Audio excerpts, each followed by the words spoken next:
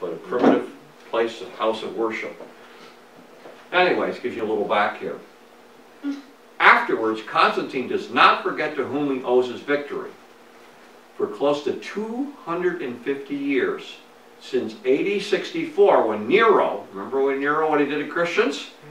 Since that time, persecution of this minority has been going on. Only a few years earlier, between 303 and 311, the, the worst persecution was under Diocletian then, called the Great Persecution.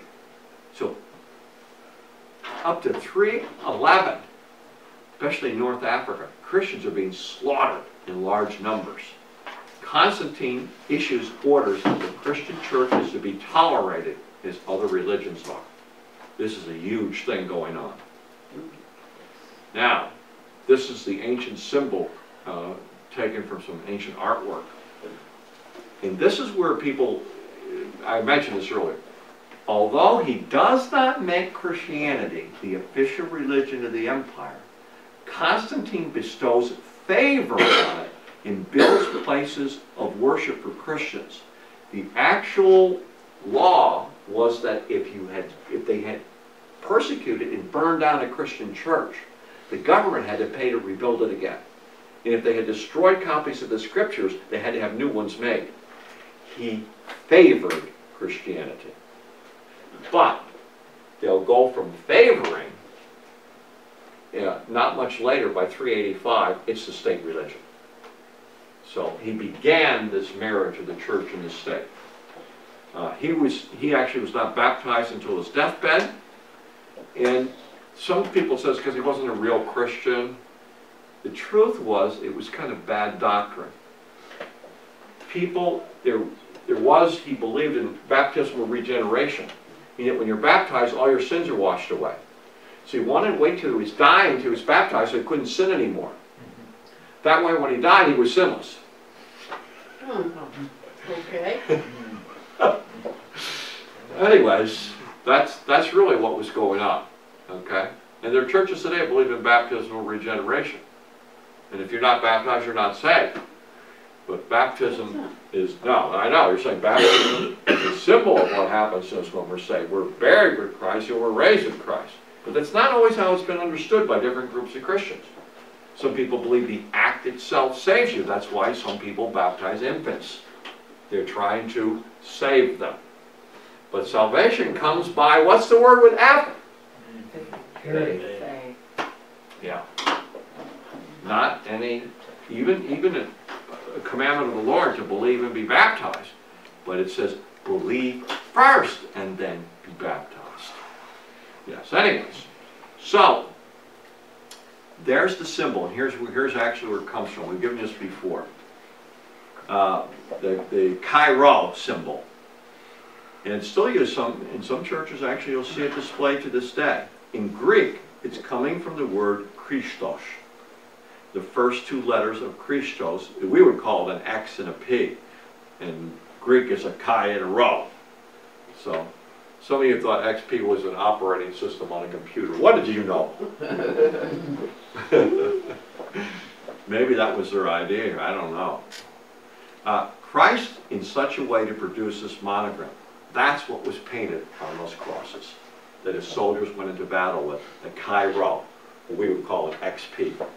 The first two letters, well, we would say like CH of Christ, but in Greek it's, it's Chi-Rho. So Christians use that symbol in that age. If we have anything else of this. And this is what we mentioned before. February 313, the Roman Emperor Constantine and the Roman Emperor Licinius, they meet in Milan, Italy. You still visit Milan today, it's a beautiful city. You been to Milan? Yeah. Italy, on a happy occasion, Emperor Licinius Yes. marries Constantine's half-sister. At that time, both emperors agreed to grant religious toleration to all the people in all religions in the Roman Empire. There was no edict made. They never made a pronouncement, but they did make an agreement. Licinius goes back in the east and he makes a proclamation and he wrote it down. That's the one we have in record. We don't actually have Constantine's edict, but we have the one Licinius made later on. But we believe that that- so they called the so-called Edict of Milan, because at Milan, no edict was pronounced. But an agreement was made that led to an edict, but it changed the empire. And it changed history. And if you were a Christian at that time, this is party time. This is celebration time. We're free, we can proclaim Christ, they can't throw us in prison, they can't take our property away, they can't send us to our mine, they can't crucify us. We can hold government positions, you know. It was a celebration. Little did they know that this marriage of the church and the state would lead to something worse. Bad marriage started going. We have a few of those happen today. Anyways. All right.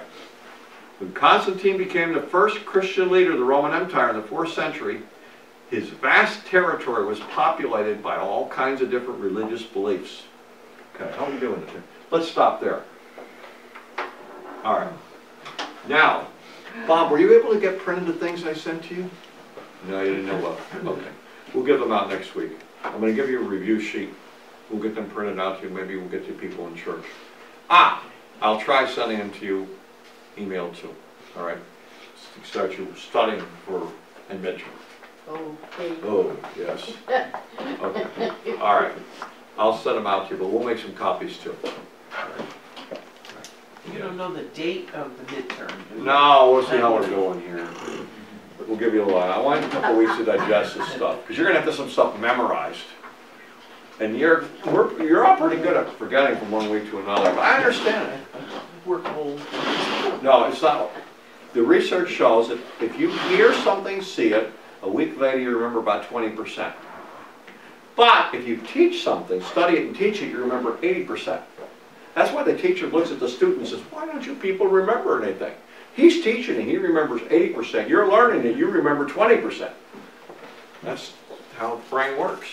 You're just normal people who forget things a week later. Yeah. Uh, Just a week later?